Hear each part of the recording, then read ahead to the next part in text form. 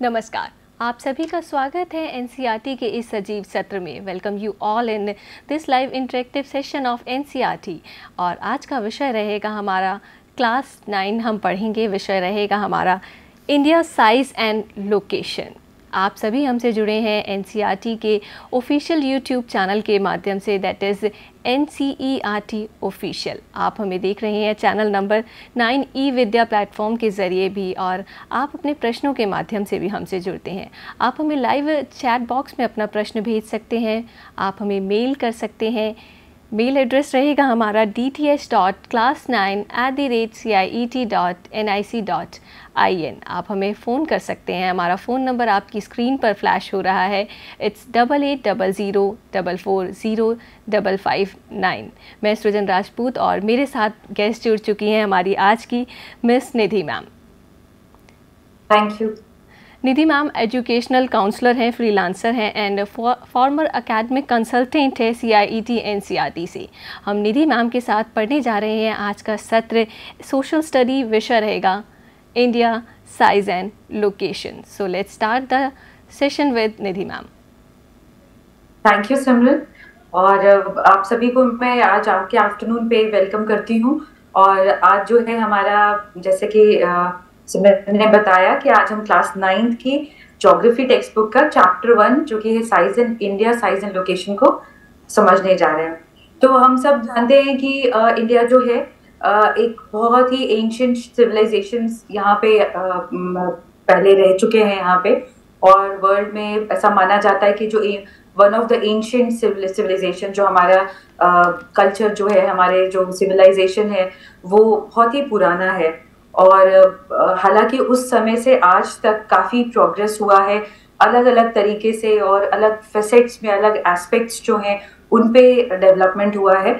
और जो हमारा जो रिचनेस है हमारे कल्चर का, हमारे सिविलाइजेशन का, उसने एड ऑन किया है हमारे आजकल के जो भी डेवलपमेंट्स जो हैं अलग अलग फील्ड्स में, उसमें। तो चलिए आज हम अपने इंडिया के बारे में और भी चीज़ें जानते हैं। और आई थिंक हमने पहले भी क्लासेस में पढ़ा है। आपने पहले भी पढ़ा होगा सिक्स सेवेंथ एट्थ में कि आ, इंडिया के बारे में थोड़ी थोड़ी चीज़ें पढ़ी हैं आपने अपने टेक्स्ट बुक में। और इंडिया जो है वो पूरी तरह से नदन हेमिस्फेयर में लोकेट करता है। और दैट मीन्स कि इक्वेटर के ऊपर है। कोई भी पार्ट इंडिया का जो है वो इक्वेटर के नीचे नहीं है। So it lies entirely in the northern hemisphere और इसका जो मेन लैंड का जो एक्सटेंड है मेन लैंड मतलब कि जो आइलैंड्स को छोड़ करके। तो वो है लैटिट्यूडनल एक्सटेंट है उसका eight degree four minutes north and thirty seven degree six minutes north में. एंड देन लॉन्गिट्यूडनल डिस्टेंस जो है वो sixty eight degree seven minutes east से लेके ninety seven degree twenty five minutes east तक है. तो uh, आप अपनी स्क्रीन पे देख सकते हैं कि इंडिया जो है वो पूरी तरह से नदर्न हेमिस्फेयर में लाई करता है और एक ऐसे डॉटेड लाइन आपको दिख रही होगी वो इक्वेटर को शो करती है. तो India lies above that. Then uh, uh, uh, ये जो ट्रॉपिक ऑफ़ कैंसर है uh, जो कि एक इमेजिनरी uh, लाइन है 23 डिग्री 30 मिनट्स नॉर्थ पे के पे जो लाई करता है वो डिवाइड करता है कंट्री को इंडिया को ऑलमोस्ट टू इक्वल पार्ट्स में और वो बीचों बीच जो है वो इंडिया से क्रॉस uh, करता है और इंडिया के जो पूरा जो साउथ ईस्ट में अंडमान एंड निकोबार आइलैंड्स हैं जो कि बे ऑफ़ बंगाल में है एंड साउथ वेस्ट में लक्षद्वीप आइलैंड्स हैं, जो कि अरेबियन सी में लाई करती है। ये सब चीज़ें आप लोगों ने पहले भी पढ़ी हैं, जब जोग्राफी का इंट्रोडक्शन हो रहा था, आपकी क्लास सिक्स से शुरू होता है, या ईवीएस में भी थोड़ी बहुत चीज़ें आपने पढ़ी होंगी, और हो सकता है। तो अब ये जो साइज़ है इंडिया का, ये थोड़ा लोकेशन हमने अभी जाना है अब साइज़ के बारे में जानते हैं। इंडिया का जो एरिया है टोटल वो 3.28 मिलियन स्क्वायर किलोमीटर है। और ये जो टोटल एरिया है वो 2.4 percent of the total geographical area of the world है। और ये जो लैंड बाउंड्री है इंडिया की वो पंद्रह हज़ार दो सौ किलोमीटर की है। और जो इसका जो कोस्ट लाइन है, जो मेन लैंड की जो कोस्ट लाइन है मतलब जो कोस्टल एरिया जो है, वो जो बाउंड्री है including Andaman and Nicobar islands and Lakshadweep, वो है seven thousand five hundred and sixteen point six kilometres की। तो हमारी जो कोस्ट लाइन है मेनलैंड की और आइलैंड्स uh, की बहुत लंबी है और इससे बहुत uh, uh, हम लोगों को बहुत रिसोर्स Uh, हम लोगों को मिल पाता है इस वजह से और बहुत ट्रेड uh, में हमारा जो ओशन बेस से जो सी जो ट्रेड है उसमें बहुत हेल्पफुल होता है। देन और भी हम थोड़ा आगे चले तो लैटिट्यूडनल एंड लॉन्गिट्यूडनल एक्सटेंट जो है कंट्री का मतलब जो ईस्ट वेस्ट और नॉर्थ साउथ जो डिस्टेंस है, वो ऑलमोस्ट जो थर्टी डिग्री थर्टी डिग्रीज का है.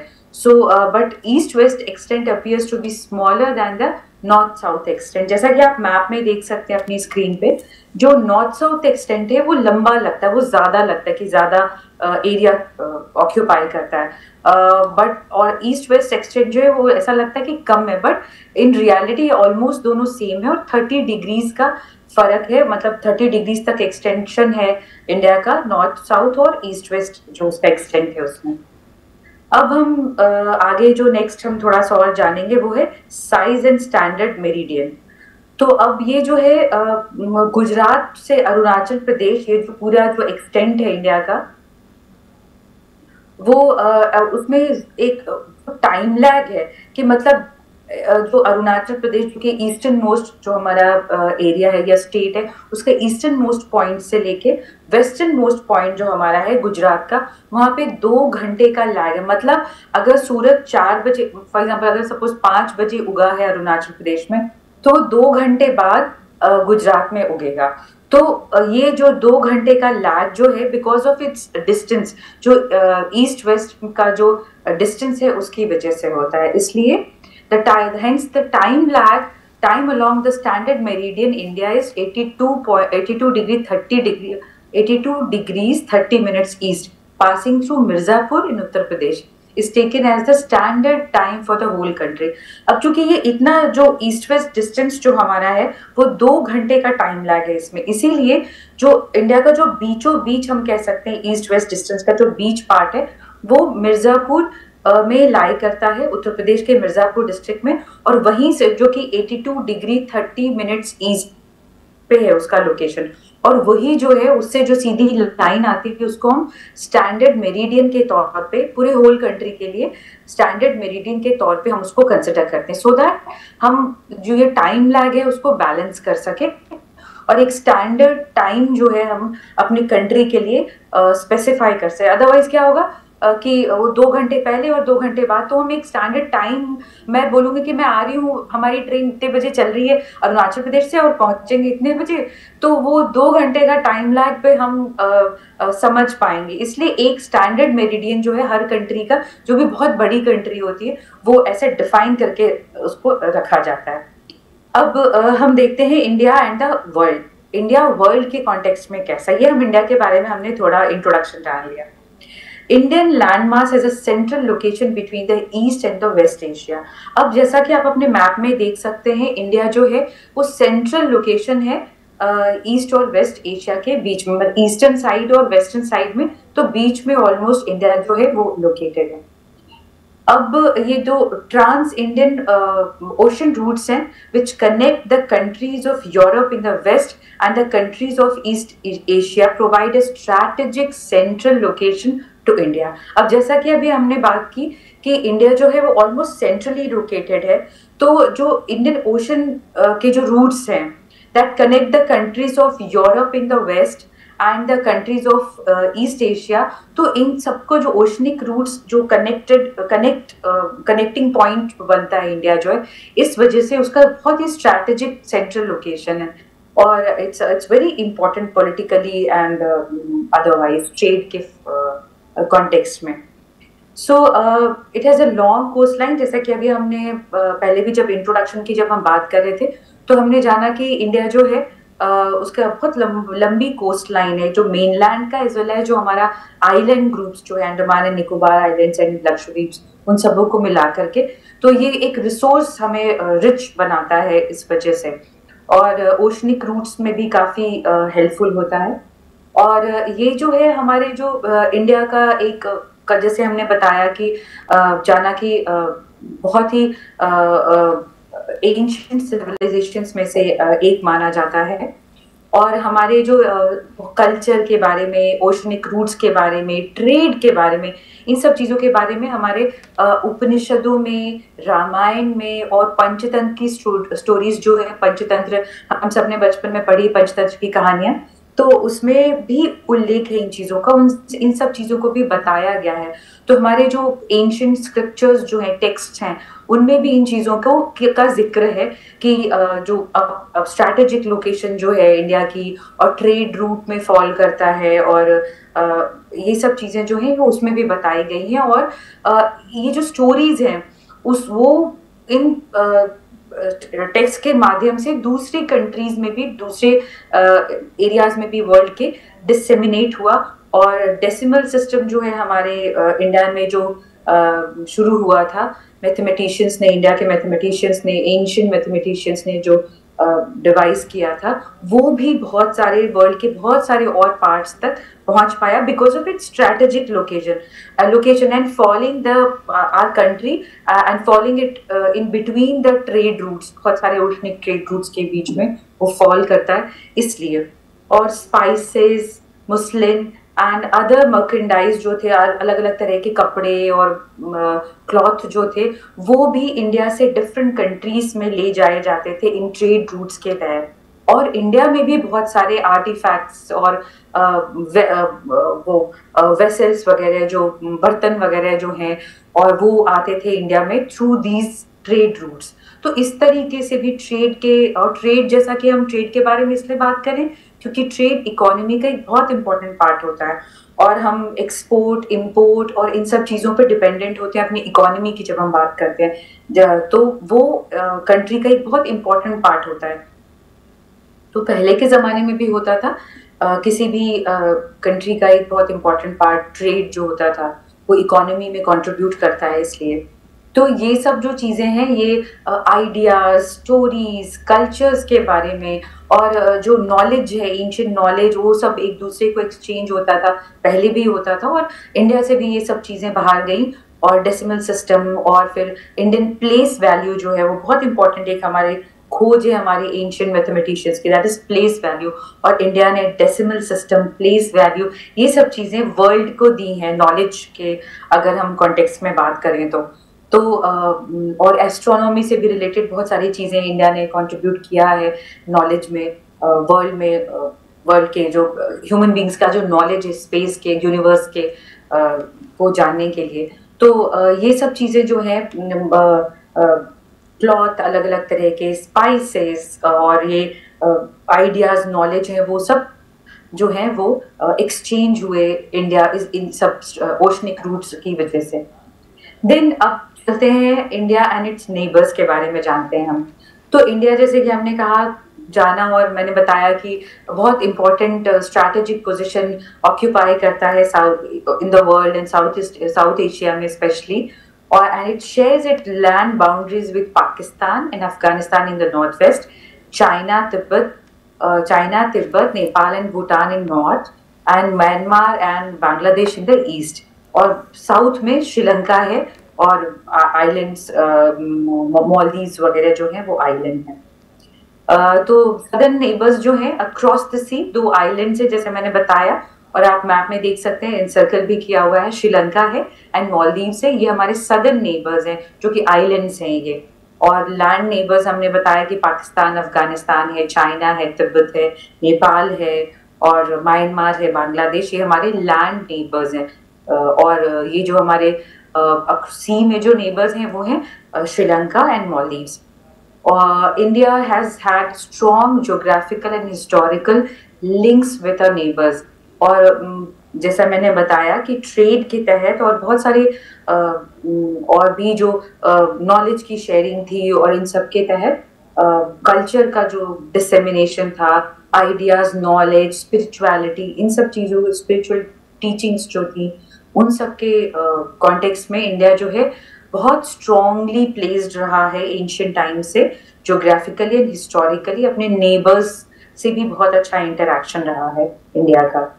सो so, uh, ये जो था ये हमारा एक जनरल वो था कि इंडिया जो है वो कहाँ पे लोकेटेड है उसकी आ, क्या पोजीशनिंग है इंडिया की कैसे प्लेस्ड है वो और ये जो चीज़ें हैं, ये बहुत इंपॉर्टेंट है इंडिया के कॉन्टेक्स्ट में, उसकी इम्पोर्टेंट जो उसकी इम्पोर्टेंस है वर्ल्ड में उसको जानने के लिए और इकोनॉमिक इकोनॉमी को लेकर के। और आज भी ये जो चीज़ें हैं वो कुछ जो चीज़ें हैं, वो तो हमेशा से लोकेशन तो वही है और बाकी जो उसके ट्रेड रूट्स हैं, वो सब भी वही हैं और और भी डेवलप हो गए हैं इनफैक्ट और ट्रेड जो है बहुत पहले जैसे क्लॉथ का होता था स्पाइसेस का होता था, इन चीज़ों का ट्रेड होता था यहाँ से। धीरे धीरे फिर और जो रॉ मटेरियल्स हुए मिनरल्स हुए वो एक्सपोर्ट होने लगे। अब जो है हम नॉलेज भी एक्सपोर्ट करते हैं जैसे कि बहुत सारे आईटी प्रोफेशनल्स हमारे से और भी बहुत सारे प्रोफेशनल्स जो हैं टीचर्स हैं मेडिकल प्रोफेशनल्स हैं वो भी आ, इंडिया से बहुत ज़्यादा हम आ, बाहर जाते हैं कंट्रीज़ में और एक्सचेंज होता है आइडियाज़ का भी अलग अलग तरीके से। सो so, ये जो है एक जनरल आउटलाइन हुआ हमारे कंट्री का। Uh, क्या क्या साइज़ है हमारी कंट्री का और लोकेशन क्या है और how it is important strategically trade route में फॉल करता है तो कितने नेबर्स हैं उसके लैंड नेबर्स कौन कौन से हैं ओशनिक नेबर्स कौन कौन से हैं देन हमारी कोस्ट लाइन इतनी लंबी है तो वो कैसे कंट्रीब्यूट करता है रिसोर्स एंडाउमेंट होता है और रिसोर्स रिच बनाता है इंडिया को। और रिसोर्स मतलब कि जो भी पानी में जो हमें फिशेस वगैरह जो भी मिलते हैं और हमें एनर्जी जो मिलती है या फिर ऑयल एक्सट्रैक्शन होता है, ये सब चीज़ें जो हैं वो हम रिसोर्स का मतलब उससे होता है। उस कॉन्टेक्स्ट में मैं यहाँ पे बात कर रही हूँ। तो ये है हमारा एक जनरल आउटलाइन सिमरन, अगर हमारे पास कोई क्वेश्चंस हैं तो आप हम ले सकते हैं उसको।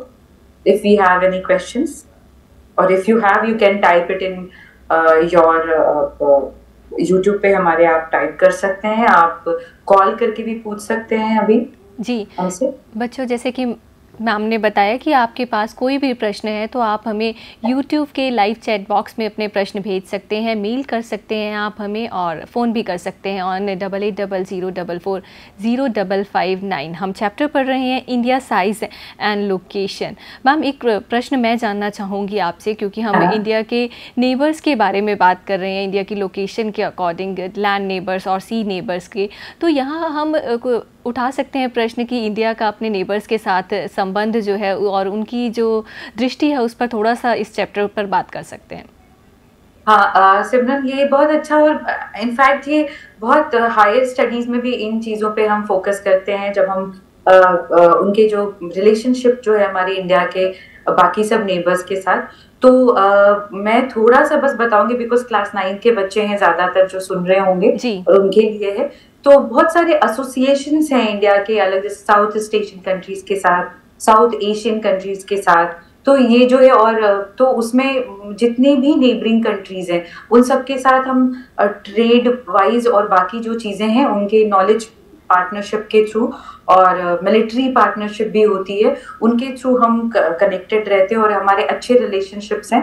सारी कंट्रीज़ जो आसपास के हैं हाँ कुछ थोड़े डिस्प्यूट्स होते हैं हमारे चाइना के साथ पाकिस्तान के साथ but otherwise when it comes to the whole association जैसे आसियान है या साउथ ईस्ट एशियन कंट्रीज़ या एशियन साउथ एशियन कंट्रीज़ का साउ है तो uh, उसमें जब uh, एक पार्टनरशिप है इंडिया की बाकी अपने नेबरिंग कंट्रीज़ के साथ एंड दे एम टू और they are compel to work together trade वगैरह के मामलों में जो भी है उसमें वो uh, मिल के काम करते हैं। और इंडिया uh, की स्ट्रैटेजी पिछले कुछ uh, सालों में रही है कि लुक ईस्ट पॉलिसी जो हम कहते हैं लुक ईस्ट मतलब कि rather than focusing on the western countries look east मतलब ईस्टर्न जो हमारे नेबर्स हैं south east south east Asian countries जो हैं उनको हम उनके साथ अपने और रिलेशंस अच्छे करें। हर मामले में नॉलेज पार्टनर के तौर पे ट्रेड पार्टनर्स के तौर पे और तो ये हमारी पॉलिसी जो रही है वो रिसेंट टाइम्स में फोकस किया है इंडियन गवर्नमेंट ने। लुक ईस्ट पॉलिसी जो कि कही जाती है कि हमारे जो ईस्टर्न जो नेबर्स हैं ईस्ट साइड में उनको फोकस करके जी। निधि मैम बात करें इंडिया के बारे में तो यहाँ पर जो स्टेट्स हैं उनके बारे में बात करते हैं। सबसे हम्म। बड़ा क्षेत्रफल में अगर स्टेट देखें और इसी प्रकार से सबसे इंपॉर्टेंट रोल जो कि एक स्टेट निभाता है इस पर बात करते हैं। हाँ तो हमारा जो है इंडिया के जो स्टेट्स हैं, अब सबसे पहले तो मैं ये बता दूँ कि इंडिया कई सारी जो कंट्रीज़ हैं इंडिया के एक एक स्टेट्स जो हैं, अगर हम ले लें कि राजस्थान या मध्य प्रदेश या महाराष्ट्र, ये सब जो स्टेट्स हैं, उनका जो साइज़ है वो कई कंट्रीज़ से भी बड़ा है। कुछ कंट्रीज़ जो है बहुत छोटे छोटे हैं और उनका साइज़ जो है हमारा एक स्टेट का साइज़ एरिया वाइज भी कई कई सारी कंट्रीज़ से बड़ा है। और पॉपुलेशन वाइज अगर हम करें तो कहें तो उत्तर प्रदेश जो है सबसे मोस्ट पॉपुलेट पॉपुलेटेड स्टेट है इंडिया का। तो uh, कई जो कंट्रीज़ हैं वेस्टर्न यूरोपियन कंट्रीज़ जो है उनकी जो पॉपुलेशन है हमारे कुछ एक स्टेट से भी कम है हमारे। तो this is the huge size that we have area wise भी और uh, हम पॉपुलेशन वाइज भी अगर हम कहें तो भी हमारी कंट्री के एक एक स्टेट्स जो है वो कई uh, कुछ कंट्रीज़ जो है उनके साइज़ uh, मतलब एरिया वाइज भी और पॉपुलेशन वाइज भी बड़े हैं। So this is the you know kind of resource land resource that we have as well as the population human resource what we call वो भी हमारा इतना ज़्यादा है। बाकी तो फिगर्स आप कितने भी वो तो रखने वाली चीज़ें होती बट ये समझने वाली कुछ जो चीज़ें हैं जो मैं सिंपल तरीके से बताना चाहूँगी कि हमारा जो हमारी कंट्री के कुछ स्टेट्स जो हैं वो कई कंट्रीज़ से बड़े हैं। तो that makes it very unique in its a whole like country के रूप में. जी जी बच्चों हमारे भारत की यही तो विशेषता है. अनेकता में एकता और विभिन्न संस्कृतियों से मिलकर बना है हमारा भारत देश चाहे वो बात हो मसालों की खाने पीने की पहनावे की या फिर संस्कृति की. इन सभी संस्कृतियों से भारत बनता है. आपसे निधि मैम ये भी जानना चाहेंगी कि अगर इम्पोर्ट एक्सपोर्ट या आयात निर्यात की दृष्टि से देखें तो कौन सी ऐसी स्टेट्स हैं जिनका कि मुख्य रोल रहता है यहाँ पर? सिमरन ये सवाल बहुत अच्छा है आपका जी. और अगर हम आयात निर्यात की बात करें तो जब हम निर्यात की बात मतलब एक्सपोर्ट की बात करते हैं तो इंडिया जैसे मैंने बताया कि पहले क्लॉथ जो था, वो बहुत ज़्यादा एक्सपोर्ट करते थे हम लोग, क्योंकि और रॉ मटेरियल जो फिर धीरे धीरे हमने रॉ मटेरियल मिनरल्स वगैरह एक्सपोर्ट करना शुरू किया। और अब जो है हम नॉलेज भी शेयर एक्सपोर्ट करते हैं और ये चीज़ें बहुत, अब तो जैसे मेक इन इंडिया जो है उसके तहत बहुत सारी चीज़ें हमारे यहाँ बन रही हैं। तो उस लिहाज से अगर हम देखें तो एंशियंट टाइम से लेके अभी तक तो जो स्पेशली जो हमारे जो कोस्टल जो रीजन है कोस्टल स्टेट्स जो है, जो हम कहते हैं, जो कोस्ट लाइन पे हैं तो वो उन्होंने बहुत कंट्रीब्यूट किया है और वहीं से जो कि बाहर जाता था और ओशनिक रूट्स बहुत पॉपुलर थे पहले भी और आज भी जब बहुत बल्क में हम चीज़ों को भेजते हैं तो हम ओशन रूट से ही भेजते हैं दूर दूर कंट्रीज़ में। तो ये जो है वो तो उस हिसाब से अलग अलग जो मटेरियल है उन पे हम फोकस करके अगर देखें तो कॉटन बेल्ट जो है जो हम्म। डेकन रीजन है या कॉटन जहाँ पे ग्रो होता है तो वो लोग कॉटन एक्सपोर्ट में हेल्प करते थे जो मिनरल रिसोर्स रिच है जैसे कि अपना झारखंड उड़ीसा वाला जो रीजन है और छत्तीसगढ़ है ये सब जो रीजन कर्नाटका वो वो बेल्ट जो है आंध्रा और तमिलनाडु वाला वो बेल्ट है ये हमारा जो ये झारखंड और उड़ीसा वाला जो बेल्ट है ये लोग बहुत ज़्यादा मिनरल्स जो हैं वो एक्सपोर्ट वहाँ से होते हैं। और ऑब्वियसली वो कोस्ट जो हमारे पोर्ट से वहीं से होके जाते हैं। देन फिर वो जो बाकी जो गुड्स हैं और नॉलेज जो है वो हमारा वो कैपिटल जो हमारा नॉलेज हब्स हैं जैसे दिल्ली एनसीआर हुआ फिर हमारा बैंगलोर रीजन हुआ हमारा वो हैदराबाद रीजन जो है वहाँ से जाता है। तो अलग अलग चीज़ों को एग्रीकल्चर प्रोडक्ट्स जो है हमारे ऑल ओवर इंडिया से फिर हैं पोर्ट सिटीज़ में जाते हैं और पोर्ट से फिर उसके बाद बाकी और जगह डिसमिनेट होते हैं। तो ये जो है ये पूरा अलग अलग चीज़ों का जो है वो हैंडीक्राफ्ट भी हम एक्सपोर्ट करते हैं।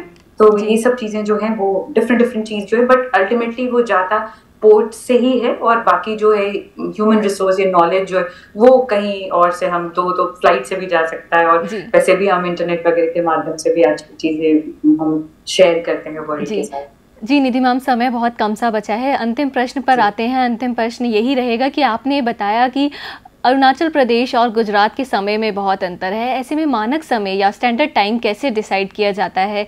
ये आंसर आप हमारे बच्चों के लिए दें। जी तो जैसा मैंने अभी बताया था कि दो घंटे का टाइम लैग है हमारे ईस्टर्न पॉइंट से वेस्टर्न पॉइंट के बीच में। सो so, अगर पाँच बजे सूरज उग रहा है अरुणाचल प्रदेश में तो सात बजे के अराउंड लगभग सात बजे के अराउंड हम मान के चलें कि वो गुजरात में वहाँ पे सूरज उगता है। तो अब जैसे हमारे कंट्री का एक्सटेंट बहुत ज़्यादा है ईस्ट वेस्ट का।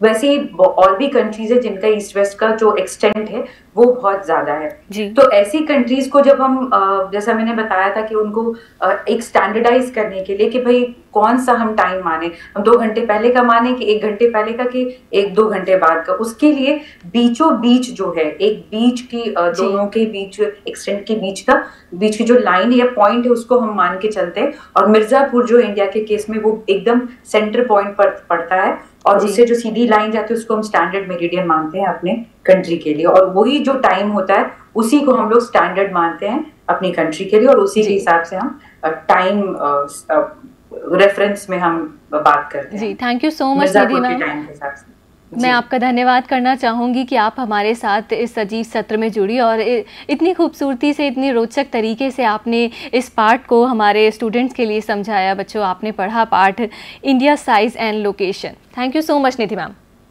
thank you बच्चों, आप अपने शैक्षणिक स्तर 2023-2024 के लिए एन e की टेक्स्ट बुक्स ऑर्डर कर सकते हैं हमारे सेल्स काउंटर से, जो कि हैं नई दिल्ली, गुवाहाटी, कोलकाता, अहमदाबाद और बेंगलुरु में। आप चाहें तो इन किताबों की सॉफ्ट कॉपी या फिर पीडीएफ वर्जन भी डाउनलोड कर सकते हैं। इसके लिए आपको एन ई पाठशाला और मोबाइल ऐप्स के ज़रिए डाउनलोड करना होगा और आप ज़्यादा जानकारी के लिए जुड़ सकते हैं हमारी ऑफिशियल वेबसाइट्स के साथ, जो कि हैं एन अधिक जानकारी के लिए आप एक और साइट का रुख कर सकते हैं, वह है आई एन आपसे यूँ ही जुड़े रहें, क्योंकि अगले सत्र भी इसी प्रकार ज्ञान से भरे हुए होंगे। आपके साथ ई विद्या चैनल रहेगा और रहेगा हमारा official YouTube N C R T official नमस्कार।